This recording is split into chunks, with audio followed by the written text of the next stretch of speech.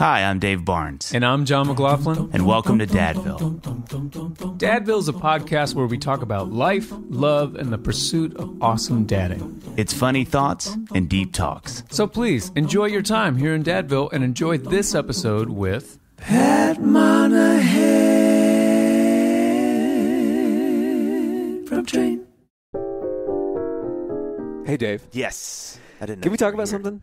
Jeff, And we need to go quickly because can I just finish getting dressed real quick? no, we don't. Oh. We don't have time. Okay. How'd you It's get in? as much as I'd like for you to have clothes on right now. We Okay. don't have time because go, it's going to be. A, I can power through. I can it's going to be a busy summer of the big three, Dave. Okay. Sports. Yep. Beach days and nonstop, sunshine. Yeah, you yeah. know me. I knew what you were gonna say. But listen, knockaround, right, Mhm. has the sunglasses you need to make the most of Ooh. it. They've been making high quality shades Yep. that don't break the bank since 2005. Mhm. And they've actually been our personal go to for years. With over 25 different frame styles. 25, Jon. There's something for the whole family, especially mm-hmm. if you have 25 people in your immediate family. And if you do, Yeah. you need to keep listening to this podcast because you need help. We can save you money. including tons of kids pairs too.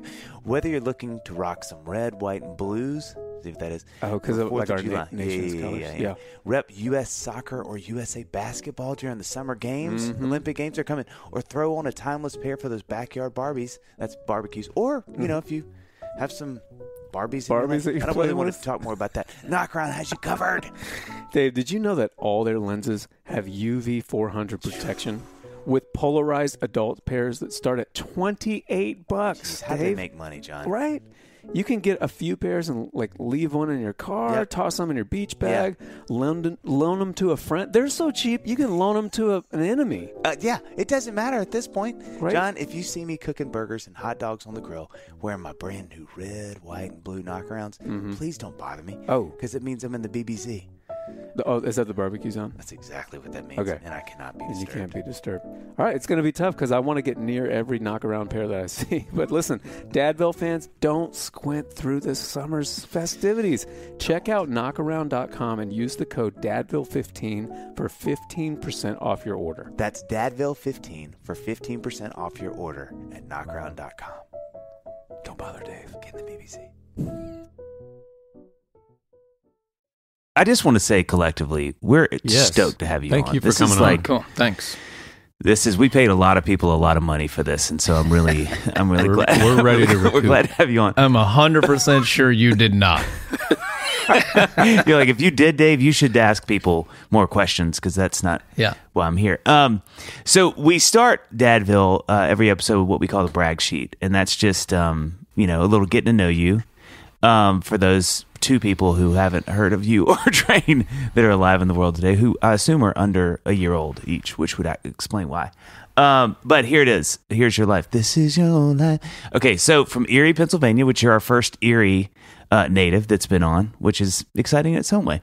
Um, originally, this was there's a lot of fun facts in here. So originally started a Led Zeppelin cover band called Rogues Gallery, which is a amazing band name, by the way. I didn't mean, even know is- what it meant for the first three years I was you in. don't know. You can't know. I think your first band, you can't. If you can explain what it Yeah, means, it's, better the wrong not. title. Right. It needs to be some. Um, yeah. So uh, then formed Train in San Francisco in '94. Yep.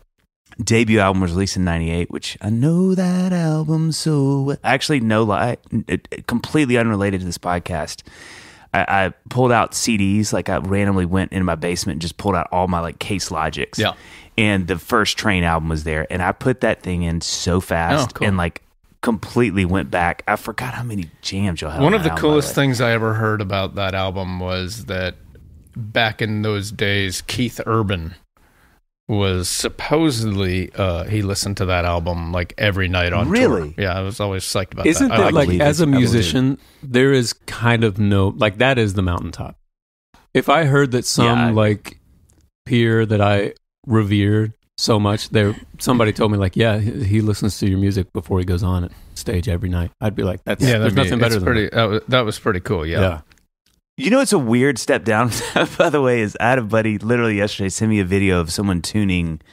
I I think it was Jason Aldean's front of house was tuning The system. the show to one of my songs. Oh, that's and that's so a cool. really interesting. No, that's the text, 'cause mountaintop for awesome, the but you're also musician like- who is now a front of house engineer. That's right. That's as good as it gets. I'm always like, that's such an interesting thing to get a text I think about. that's pretty cool because my guy tunes the room with uh, Sade. Steely Dan.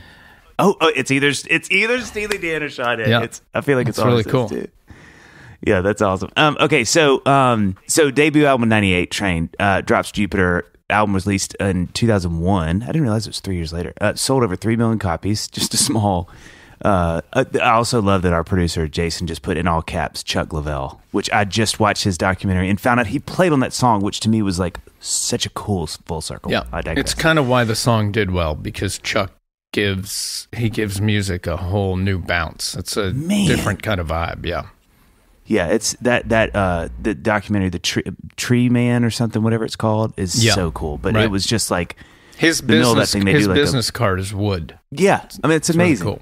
So released eleven studio albums, sold more than dude. This is insane. Fifty million albums worldwide, thirty-two songs on Billboard's Hot 100. It's hard not to laugh at this. And twenty-eight albums on the Billboards. Uh, 200 albums. Dartridge is crazy. Won two Billboard Music Awards. Won three Grammys. Song of the Year for ASCAP Pop Awards. Artist of the Year Radio Music Awards. I mean, that's well done, my friend. You have you have made a stamp. I, one question I always love to ask after reading that is like, so, like 15 year old Pat Monahan, if he if he like you know if I could go back in time and I'm like, look, man, I'm gonna read what you accomplish, and I read that to him. Like 15 year old Pat is like, what? How is he looking at that? Like, yeah, it's about time. Or is he like, whoa? Or like, where is he with that? Uh, you know, I probably wouldn't have thought it was enough um, because it's never enough. Like, there's never, uh, Yeah. you know, it's a strange, weird thing because those accomplishments aren't even a thing, really. They're they're like. All they are are ways to continue to make music. Like when when Meet Virginia Yeah. did well, there was an army of people fighting to get that song on the radio, and mm. I didn't realize that until it was later in the game where it was like the reason that we're all fighting to sell a million of these albums is so that Columbia Records notices that you're really an artist because mm. we were on a mm. sub label to Columbia. And then we can continue to make records. And then the Drops of Jupiter album was next. And we wrote the entire album excuse me, and didn't have a single for them. And my mom had passed away, and like hmm. three months of not having a single for them, I woke up from a dream and wrote Drops of Jupiter in 15 minutes because my mom Louise. obviously sent me this song because I just mm-hmm. wrote it down. It was like it wasn't even me. And then that gave us a chance to go around the world. And then the world was so big that we were on the road for most of, you know, years. And then you get burnt out and then you start trying to write hits so you you make lesser music and mm-hmm. and then you make a solo record because you hate your band and that record does and then you get the band back together and you know you have some luck with some songs because you know you you just for whatever reason the desperate part of you has to get something. And Yeah. then you know you just figure out how to live a better life like make better choices. And uh, now my band are my favorite people we're like family. It's uh you, you just try to change through time where accomplishments are less than the people that are around you Yeah, yeah. Man, that is That's well said. what a beautiful. Do, do you feel like there's anything you would go back and tell like young Pat about those things? You know, I would Is say, anything you'd be hey- like, hey man, heads up. you know you're you're going to start drinking wine again when you're 45 so maybe drink less that would be my only tip You start with that. i would start with that one I like I like how that's like that's just enough information to get young Pat to sort of lean in, but then you vanish and he's like, mm, okay, Yeah. yeah that was, uh, my father my father was really a funny guy. Uh, you know pennsylvania guy uh, not uh, wildly successful and he he would say to people why don't you save your precious advice and cut me a check so i don't really have any advice for people because that is amazing. that was always his viewpoint of people's advice is uh, I'd, I'd rather just be able to pay rent. So your dad, he was a musician as well, yeah? He was a drummer in like Ro- World War II, but his his love for music was really something else. Like uh, every day, I would come home from you know kindergarten or even before that, and he'd be. Uh, you know, with a glass of bourbon, listening to jazz, asking me if I could Wow. keep time with like take five, and Wow. and I think I Oh, was man. four, and I was able to keep time, and he was like, "Wait, what?" Because it flips, you know. It goes band Yeah, oh, yeah. Mm, uh, um, oh, dude, the five four is a killer. It's a killer. So you, so the house, the vibe of the house was, you would come home and music was just there, not as an occupation necessarily, but as a passion. Yes. And my siblings, I was the last of seven kids. They'd all be upstairs in the attic, you know, smoking weed, listening to the Beatles and Zeppelin and uh, Kris Wow. Kristofferson. And it was a wide net. I think the first thing that I loved outside of what was in my house was Michael Jackson. Uh, Wow. That, that was just really cool. And the, I think the reason I started to sing was because I think I was in seventh grade in a carpool coming back from basketball practice, which I was not good at. And there was a Michael Jackson song. The Michael Jackson song was on, and uh, everyone in the car was singing, including me. And then they all stopped and looked at me, and they were like, "What?" really, And I was like, "Oh, I think I might have just found something." Really? That's so Wow. fascinating because obviously basketball. you're hearing this it voice wasn't basketball. the whole time. And then all of a sudden, it's other people hearing and be like, "No, no, no, that's not normal." Your voice and when does your not sound like our voice. like you, like you talked about your peers, you know, when your peers think it's okay, that's Totally. when it Yeah. starts to click. So was that was that the bug? Was that moment the moment you're like, I need to lean into this? Yeah, because I I played drums already. I wanted to just be a drummer. It seemed like a a, a way to kind of disappear a little more. I was a pretty Hmm. I- I I was not a kid who raised his hands in class. You know, like I, I wanted to be invisible. yeah, So drums seemed like a better invisible cloak than being a lead singer. So, uh, but then girls seemed to like singing. So I was like, oh, maybe I'll do of a sudden that. you're like, I want to be visible. yeah. oh, to be visible. Yeah, I mean, you have such a. I mean, your voice is so unbelievable. It's it's amazing to think that there was moments where you're like, I don't know, and then all of a sudden you turn into this.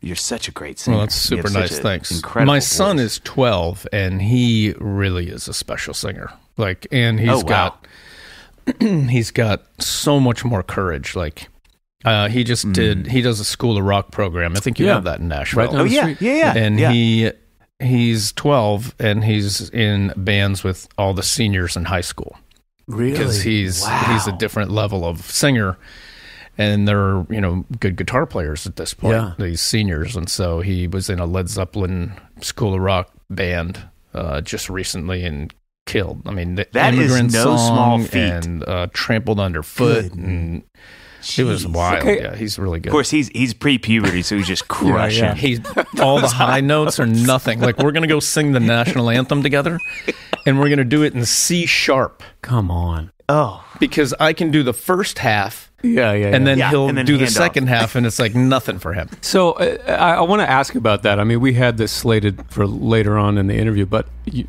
I watched a video of the two of you singing together with. I think it's on a it's on a, a cruise. Like we that. are family. Oh, oh yeah, we were on a TV show too called We Are Family. That, but uh, yeah, we he he's an artist on our cruise. Yeah. We do every other year. So I'm particularly interested in this because I, I have two girls, eleven and almost nine, and they're both getting into music. They're you know there's a piano in the house. They're both starting to sing and do musical theater, and they love it. And my oldest daughter is actually at School of Rock down the street as well. Cool. So yeah. I'm particularly interested in how you handle this with Rock, your son, because you know this is music is what we do, but we're also their dad, and so I'm like, I am. Couple things. I'm like, how much do I jump in here? How much do I coach, or how much do I just listen? Because I do have things to say here. You know, like I have, I know a thing or two about singing and and playing the piano and it's stuff. not like a hobby. But yeah, I know. But I'm also I don't want to jump in there and micromanage and have them like. How do you navigate that? I I wait to be asked. huh. Which is hard.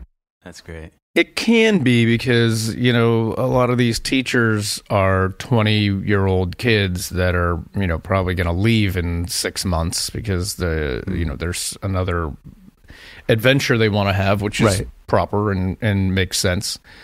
And so, And I feel for that teacher as you're like waiting in the hall and they're like, yeah. I'm going to teach well, about and, Mayhem and son how to you know, sing. they're doing their best as 22 year old kids or whatever. Yeah. and then they you know my son will come home with all this vocal advice that he's been given and i just go okay Oh wow! and if he asks me what i think then i'll tell him I'm thinking if I'm a 28 year old kid, and I'm kind of like I got the world on a string. You know, I'm just I'm, I can I can play every Jimmy. You know, give me a lick, I can play it or I can sing it right.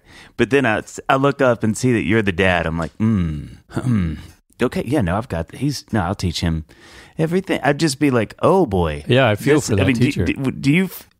I'm just like, do you walk in with any sense of sort of gravity of like, you know, I, I I will tell you, my struggle would be not to sort of flex. I'd just be the dad that's like, I don't know if you guys know this. Actually, professionals. yeah you'd you'd pull an anchorman i'm a Oh, I'm- very I'm important kind of a big I'm, deal. i'm a very big deal yeah I would have a really hard time not doing that. I mean, just kind of like, you know, because this is the water you swim in. no i go i go back to my grade school uh, disappearing act I, uh, Yeah. I, I don't just like i don't need to be a big part of that uh, if they So there was one particular thing where my son is in choir at school.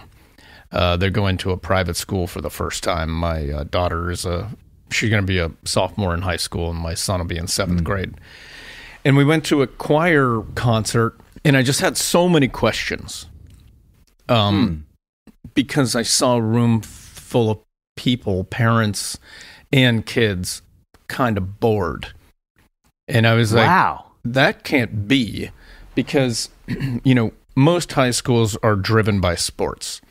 And if you're going to include the arts then you should inspire other students that wouldn't consider coming to the school to come to this school because of how badass your art program is. Mm-hmm. Right. so my questions were less, you know, let me take it over and more why are these songs the ones that are chosen? Why why is this the program? Is it mm-hmm. because it's a Christian based school? Is there a prerequisite to you have to do this many of these classics and do these have to be religion oriented? And the answer to all the questions were no. And then I was like, Huh. well, then the kids need to be more involved because if they're excited, then their parents are excited, and then the whole program starts to shift. Yeah. And the next concert was awesome.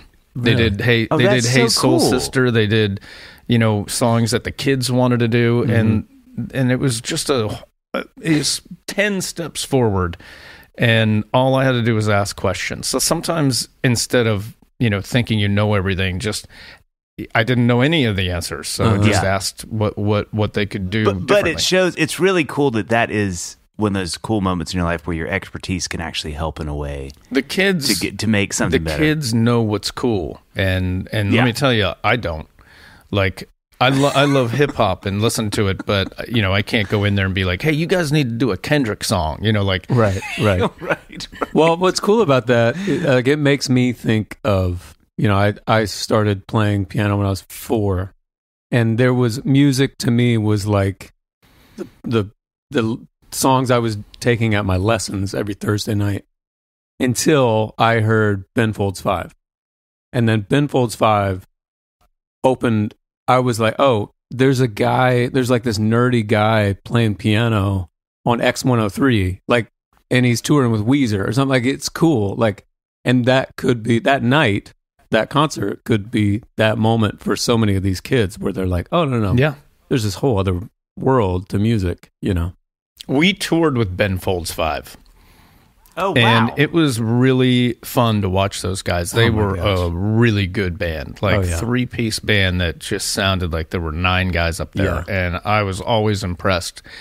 But they did one thing that I always was disappointed in, and they didn't play Brick, really Oh. which was their their hit. yeah And Mhm. one night they played Brick because they had some record executives in the building, yeah and their fans booed. For, while they played. And I was like, "Whoa!" Like I dreamed my whole life that someone would sing songs back to me that I wrote, Mm-hmm. and Right. their fans were like, "No, no, no, you got to play the the cuts off the album that we want Right, to hear, not right. the hit." And so that's that's not just them. There's there are a lot of bands that, uh, and I think Ben probably plays it now. I haven't seen him in a long time, but uh, I was always like, "Man, I want to hear that song ten times a day, not, Totally. not just once." Isn't it interesting too that their fans would be like, See, "Nah, I get man, this, is and again, I don't want to jump ahead. And I, Dave and I have this nice, neat schedule here. This is the thing with that. That kind of doesn't surprise me because I think you get you you're just try any kind of success, any song that you can get on the radio at any Yeah. whatever is lightning in a bottle. I mean, any traction is lightning in a bottle, and then you have this song that blows up and then I think for the artist, and of course, like like you're saying in this this story, like even with the fans, sometimes the relationship with that song or whatever it is, that TV show, if you're an actor or what, that movie, it can get complicated. You know, Uh, you've had many many of these, but the one I want to talk specifically about is "Drops of Jupiter" because it's I don't know that a song can get bigger than that. And I think oftentimes, I know in my experience, in my little world, my relationship with whatever the song is that kind of brought people to the party becomes Yeah. complicated. You know what I mean? And I can, I think a lot of times you can become resentful. I've become resentful of some songs that I, I know people, it's like you're just here because you want to hear that one song. What about the other hour and a half that I'm doing here? Like, and I can, mm-hmm. I can, you know, it's just complicated. So I'm curious, what has your relationship been like? You know, specifically with Drops of Jupiter and maybe some of the other massive, massive hits that you've had. What what has that arc kind of been like? you know they're, they're you're right like you when you have a hit and and they want to hear the hit. Uh, i still joke these days when we do a private show and you know we'll start the show with calling all angels and you know play uh Love you know some of these songs that that are pretty familiar. And then we'll start hey soul sister and i'll make a joke like oh you guys you know like now i know who you are uh, because Now I know because your it's age. it's true like Yeah. there are people that That's know so one funny. song and and Yeah, yeah. uh, so i get the resentful part of it uh, i've been there and where you're like what about the other songs that i even like better but you know Mhm. drops of jupiter because of how personal it, is to me uh, and i Hmm. know so many writers that they sell their publishing every five years which Yeah, makes yeah, sense because it's a it's a healthy check and there's not a lot of connection that they have with these songs Mm-hmm. because they're co-writing with a room full of people or even just one artist and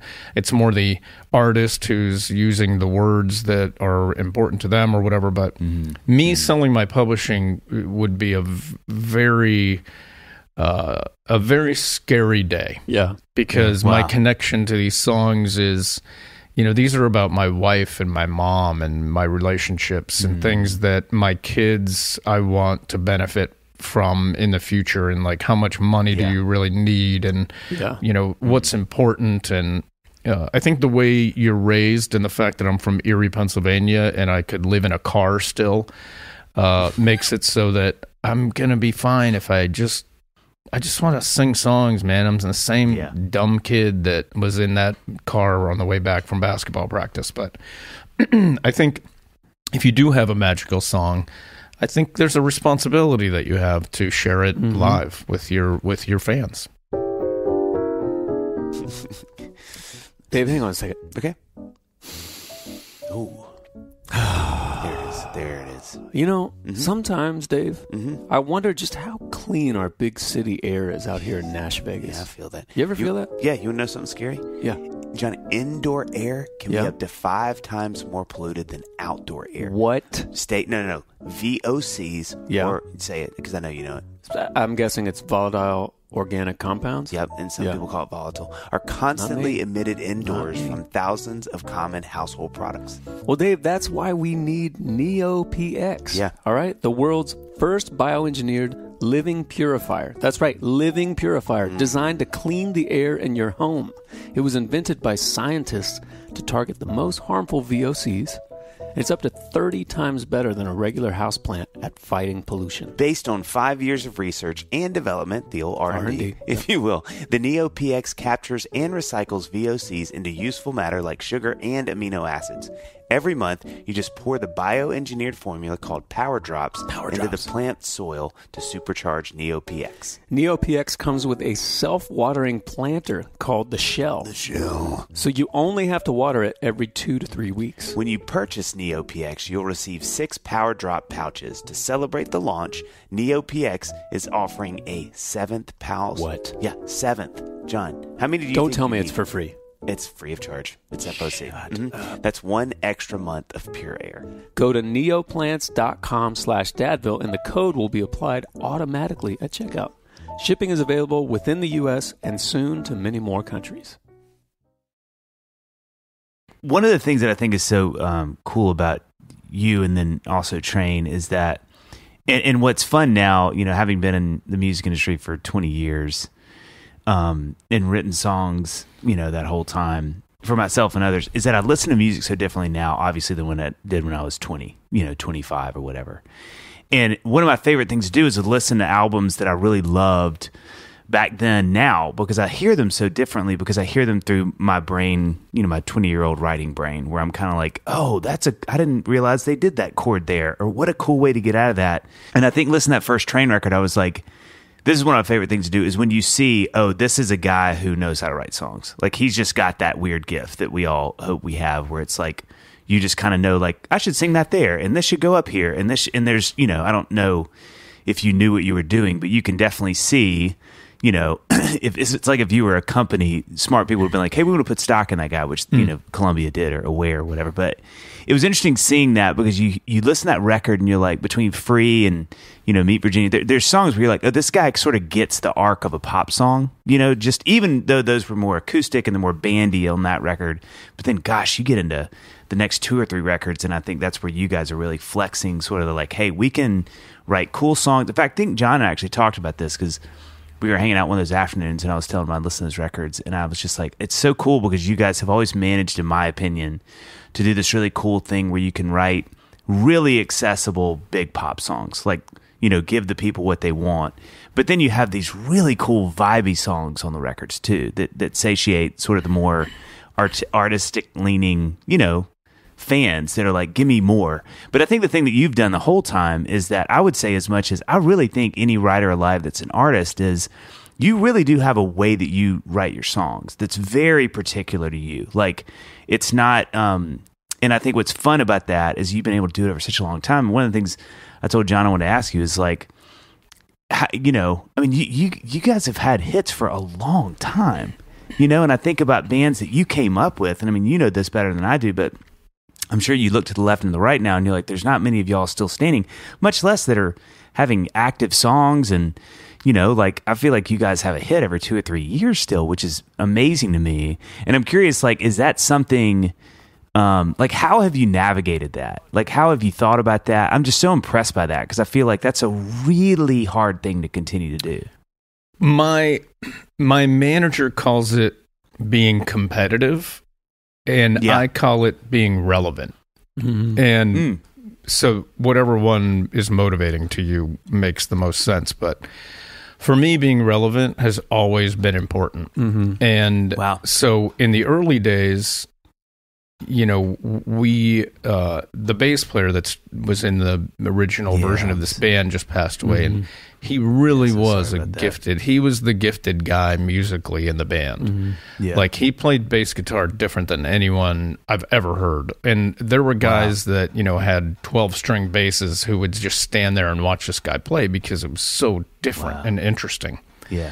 Uh, and then as the band evolved and different members came in, the if I did have a piece of advice for a young person, it would be this. We had which I think is the biggest mistake of the band, which is we decided early days that we would only write within the band. And it's a mistake. I think if you're a young person, it's fear based instead of uh, motivation where once we shifted that uh, i remember my drummer at the time was like hey man i want to get more songs on these records how do i do it and i said you write songs like Yeah. that's the way you do it you Yeah. don't you don't get favors like i want you to write a great song for the Yeah. sake of my like i want to write to your great music you know so Right, he started to write and calling all angels hmm. was him and that bass player Wow. where he was like hey thanks for telling me that i needed to go That's to work so cool. And so since then then you know the save me san francisco album was me writing with everyone but my band and Yeah. then you know it just it goes on and on so now my current band uh I write most of the songs with uh, my keyboard player Jerry Becker and my drummer Matt Musty because they work so well together. They're writing songs every single day. They're writing right now. And then they'll send me things, and then you know I'll hum melodies into a iPhone and send them to them, and it's just always uh, an evolution. That's But. I'm always interested in new music. Like I, Yeah, I have younger yeah. kids that listen to. Like I heard this song the other day, I was like, "What? How good is this song?" Have you ever heard of a band called uh, Men I Trust? I mean, this is such dope music coming out of Montreal, Canada. Yep. And Yep. like I sent it to my daughter and she's like, "What is this?" And I said, "It's a band I love." She goes, "Yeah, I've been listening to this on TikTok for a year." you know, like It's like, come on, Dad. but it, it's out there. Like Yeah. there's great Yeah. stuff and the evolution and wanting to be relevant is just important. You know, speaking of yeah. TikTok, Mm. I, I wanted to ask you, how do you Speak. how do dot, you dot, do dot, it? dot. do you just log in? No, Yeah, okay. please don't. Um,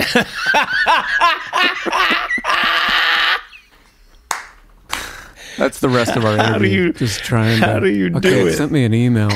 Um, I remember So- listening to Meet Virginia, driving to high school, driving to school in high school, and uh, loving. I mean, this is a long-winded way of me saying like you're you guys have had success spanning like however many decades at this point and i'm curious if you feel like because of your massive success in a time where the record business if you compare 2024 and you know the late 90s it's like unrecognizable do you feel like you have avoided having to play the game and be a chameleon and ebb and flow and change with the business because of that success or do you, or are you like no no no no we're we're trying to chase the trends as well just like everybody else Yeah, chase is not the word I would use, but definitely, you know, like TikTok is not a thing that I am uh, naturally good at. So Yeah. we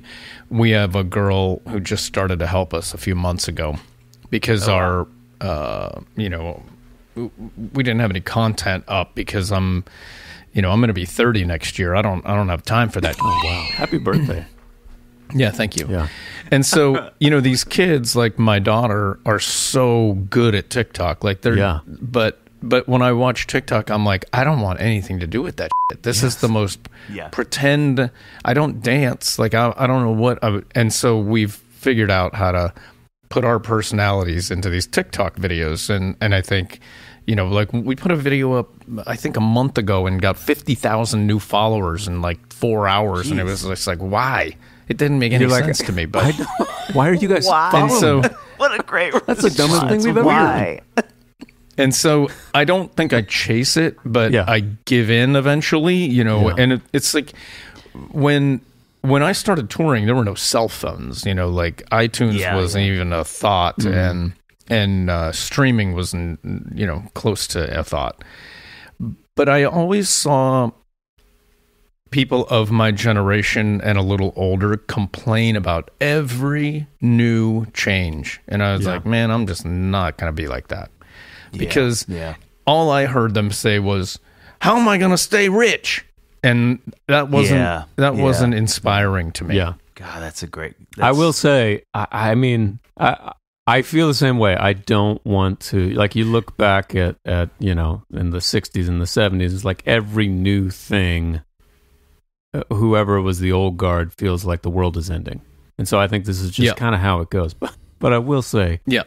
when you get on TikTok, I do, I'm like, oh, this must not be it. What's the thing that everyone's like excited about? And they're like, no, no, no, that's it. That little four second video. That that's kind of it. hmm And I'm like, That's it. Yeah. I don't want to do. and it. then you know like kids there's such a, an incredible avenue for success and to be an artist but it's a 30 second window yeah, Yeah. and yeah. that is different Yeah. than it's uh, you know it ever was with with my world uh, Yeah. and the thing that i hope tiktok can continue to do is inspire young people to want to do this because Mm. we'll lose a lot of potential you know prince and tom petty's unless they find a way in Right. and find it Yeah. to be uh, somewhat financially satisfying because you know there are a lot of smart people that could just take uh, computer science or they could make a record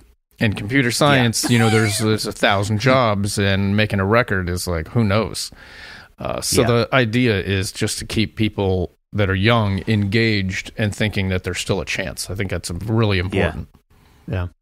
Well, you, you said it so well, and I think that's. I mean, I, I feel you know I'm 45. Um, I don't know if you can tell. I look. i couldn't tell at all man you look uh, good we have filters on here. Um, but I feel I do feel like I mean Jon and I, you know, both doing this for a living. Like it's conversation we have, but it, it's it's amazing how much that for my age group feels like that's a very common conversation with other artists our age. It's sort of like, what does it look like to keep doing this and you know serve the trends, but also realize it's just not exactly our thing. And so, how do you like y'all are doing with TikTok? How do you sort of find these ways to engage, but also no, there's just. I mean, I can't. Every time I open, every time I open TikTok, I just feel like a perv, and I'm not even looking at Yeah. anything. I'm just opening it, and I feel like somebody's be like, "Gross," and I'm like, "No, you're that's fair." I'm closing it. I don't even know what's happening. I'm just like, this is somebody's daughter. Yeah. I don't know what's uh, happening. yeah. I'm just trying to log in. i'm just trying to log some- in I mean, God, and the, then the hyperlink doesn't work, and then I'm buying some shirt with the Def Leppard. I don't know how I got here. Um, so here's something that um that I wanted to ask, which is really funny because you having just talked about this. Something I think again is so cool about Train and y'all's career is that you, like Jon said, you've done it for so long. I mean, you guys have been. You know, and you said it so well. I think the thing I worry about if someone was like, "What do you get nervous about with where music is going?" I'm like, it's just that it's not the industry is not creating a place for artists to be career artists, right? They can have unbelievable success in short amount of time, but like, you know, when you think about what you guys have done or doing, and and then it's so cool with this tour you guys are doing because knowing that you're going out playing these sheds, are y'all playing sheds? yep uh-huh. Yeah. So, you know, and it's with REO Speedwagon, right? yep And then Yacht Rock, which I would watch every opening. Me set too, man. I love them so much. I would, I just slowly make my way on the stage Me every too, night. man. Like, oh, Pat's singing again. Yeah, Yeah, it came from somewhere back in his long. But uh, I so feel like it's right. You just they're like, I guess he's in the band now. He's quit training and he's just doing BGVs for Kenny Yeah, Loggins. they're on our cruise like- every cruise. They're the first band we call. Oh, yeah. Then you know Yeah. the guys. Yeah, yeah. Um, but I, I'm curious, like, what is it like, especially in context of knowing where music is, how fast music comes and goes, to be doing a tour, one with a band like that, you guys sitting in front of. I was just thinking about this when we knew we were going to have you on. I was like, that's just got to be such a cool feeling to look out and see all these people singing songs that you wrote that have such big emotional ties to them, right? Like, I mean, that are remembering these wonderful parts of their lives, and that, that's got to be such an interesting thing about um, where you guys are and how just how long you've done it. You know what I mean? The fact that you can have you can have a set full of songs that everybody in that crowd knows has got to be a really cool feeling, you know, to celebrate that every night on this tour. You know, My most uh, favorite accomplishment is that when we do shows, uh, no matter how big or small, there are families out there. Mm-hmm. yeah, and I love that. there are Such a good grandparents and their grandkids and they're all dancing and singing and they know the songs and i just you know i curse a lot in my regular life but i don't bring it to work because I, I want everybody to re- you know really have a, a great time Yeah. um, and That's it, it's funny because I really do. I swear a lot. And I was uh, at at my kid's school doing a songwriters class, and there's like a dozen, Oh a yeah. dozen oh, kids. Oh, that's so cool. And so after 10 minutes, I looked at the teacher and the kids and I said, This is the longest I've gone without cursing since I was nine. And, and so at the end of the songwriting thing, the teacher sends me an email. Thank you so much for being there. You can go back to cursing.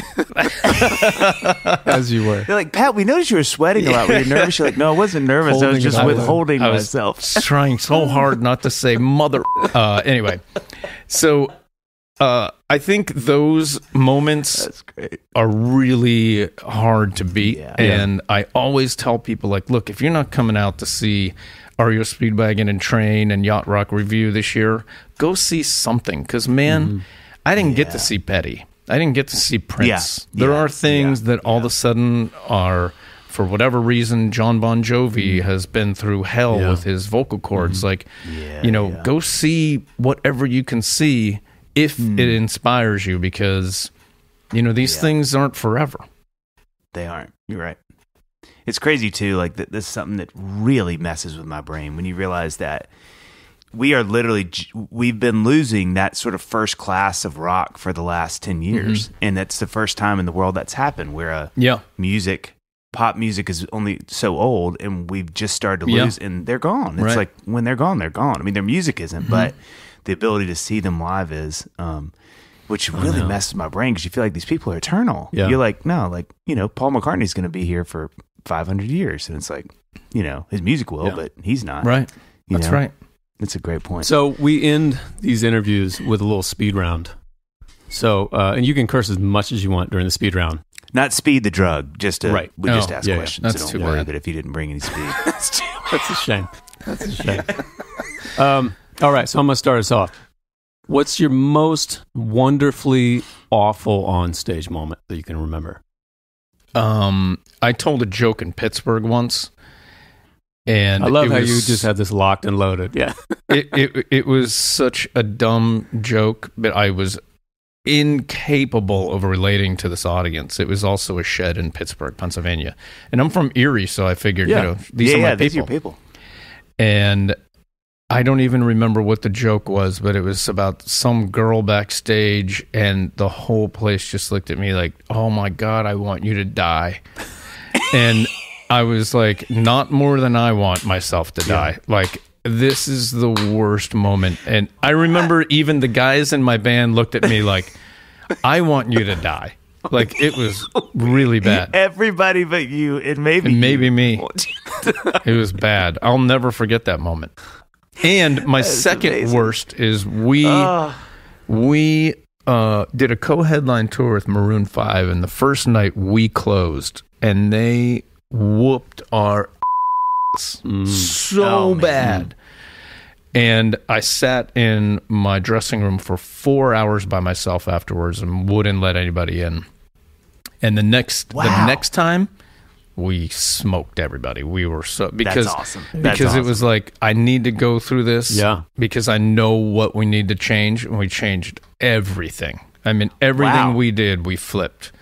Uh, and I'm not saying we smoked them. I'm just saying we never we never had yeah, that moment yeah, again. yeah, yeah, Yeah.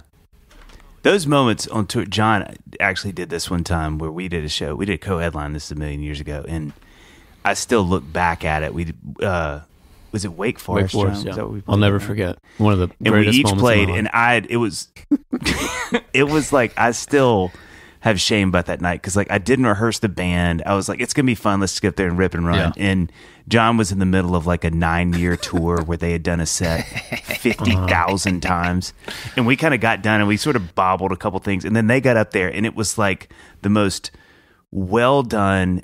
I mean, it's three songs in, I was like, oh, I've made a terrible mistake. I mean, it was just like so frustrating and those nights, but they're good for it. It's like you said, Yep. Pat. Like you kind of go, okay, this I is needed to do. get my ass whooped that day, and it, it Yep. was big. Yep. Yeah. Um, I like that you may have just also said plural, which I don't. I'm not going to ask about that, but it does interest me. Um, okay, He was so um, so uh, second question. Th- this is a new question that Jon and I are really excited about. But knowing that your dad was in music, um, we've never asked this, and I'm super excited to hear your response. What is the song that reminds you of your dad? Boy, there's a lot of them. Uh, you know, for some reason, I think it would be Chet Baker's "My Oh, wow. Funny Valentine." Oh, what what a song! and What the way he sings it, and his love for Oh. Chet Baker, and how uh, tortured Chet was, and like, Mhm. man, that uh, all that reminds me of my dad. I love Chet yeah, Baker. that's so cool. All right, uh, let's see here. I, Dave, it looks like you've a- you've altered this one. I We I usually ask- I added one. Who would you have dinner with? Oh, that's right, that's right. But Yeah. with this one, we're changing it. We're doing a lot of firsts for you, Pat. Uh, who Thank you. what's who who have you had dinner with that you were like, this is one of my like. If I were making plaques of people I've had dinner with, I would put a plaque with this person's name on it. You know, w- years ago, before I was married to my wife, she was my girlfriend. We were on the Howard Stern show, and uh, it was so fun. She came in because she is incredibly beautiful, and that's the way he does it. Yeah. And and that's the way he does. can- it. and afterwards, That's a great uh. Howard called me and he was like, "Hey, can you and Amber have dinner with me and Beth?" And he and Beth weren't married either, and uh, we just had the best time and have had dinner Mm. since. And uh, the he's just a really like one of my favorite people I've ever met. Hmm. That's so cool. I bet that guy's got some amazing stories too. I've been invited to a dinner one time that Jeff Bridges was supposed to be at, but I couldn't make it, and that would have been my number Yeah. two. Yeah, Yeah. Jeff Yep. Bridges is Yep. so cool. yeah, the coolest. I partied one night with Dennis Quaid. That was one of the weirdest times of my life. it was just Like, absolutely nuts. Dennis Quaid. That would be that'd be pretty amazing. Um, okay, um, I just added this one, but I but I but you know I was just selfish when I ask ask it quickly. What is your favorite song you've written? Um, it's always going to be Drops of Jupiter. I mean, uh, yeah, Really? it's just I uh, it's that. too That's so it's too important to you know losing your for a boy to lose his mom. That's a that's a big thing. But the healing that comes from writing about it, that's uh, Yeah. there's you know Yeah. it's uh, Yeah. it's funny watching uh, a big family mourn differently. Yeah. Yeah. And my mourning was quick Hmm. because I felt okay. You know, it was a really, and I think I've always been looked down upon by some of my Hmm. siblings because I was okay so Mm. quick. Yeah. All right. Last question, Pat. Thank you so much. You've been awesome. Uh, if you wrote a book about being a dad, what would the title be? If I wrote a book about being a dad, it would just be called Good Luck. Good luck. That's great. That's Yeah. so great. That's a great. You should do Good that. luck. Have at it. Well, Pat, uh, I will tell you good luck. Thank you so much. Oh, thank for you guys. Hanging. Yeah, this, this is has been great. You're the best. This was It's a lot of fun. Awesome. Go, and, and for those who are listening, go see the tour this summer. It's going to be awesome, awesome, awesome. I'd love to be in your uh, physical presence. So if you'd like to come out to the Nashville show, we'd love to have you. We'd love to. Yeah. Oh yeah, Yeah. heck Cool. yeah, I introduce you Done to it, the done Yacht it. Rock guys. There we go. dude. You you you keep me off the stage. I'm Man, telling you they're right so I'm now. gonna good. wear a white suit to that show. Man, it's so good. Nobody knows the words. You don't have to. You don't have to know the words.